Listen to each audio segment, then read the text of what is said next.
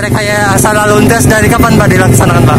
Rekayasa dilaksanakan dari hari kemarin Ah, Ang- dan saat ini masih diberlakukan rekayasa lalu lintas. Hmm. Adapun rekayasa dilaksanakan kegiatan arus wisata yang dari arah Palima hmm, menuju Tenang diarahkan ke Labuan, selanjutnya yang dari arah Labuan diarahkan ke Tenang dan dari Tenang dari Anyer diarahkan ke jalur La- jalur Palima lima.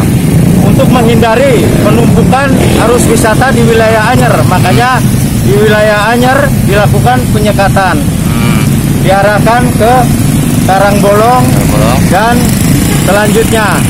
Maka dari itu penumpukan Ya. yang dikhawatirkan menimbulkan merebaknya COVID-19 terhindari. Itu yang dilaporkan dari Simpang Tenang. Dari kapan Pak pelaksanaan Pak ini Pak?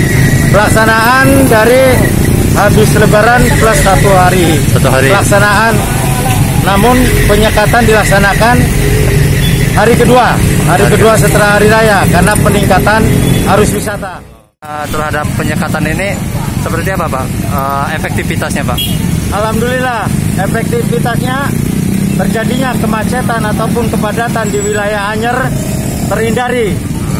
Dan lancar tidak ada arus yang membuat eh, jalur menjadi padat. Dan adapun wisata tidak tidak terlalu menumpuk.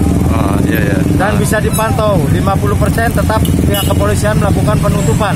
Ada berapa personil Pak yang diterjunkan Pak di ah, setiap titik Pak? Setiap titik tergantung Ya. karena pospam masing-masing rata-rata ada 30 per Oh, pospam Kalau untuk ah, rekayasa lalin di sini ada berapa personil Pak? untuk rekayasa lalin digabung dengan dengan pospam jumlahnya 18 18 orang Pak ya? 18 personil dua regu berarti 36 30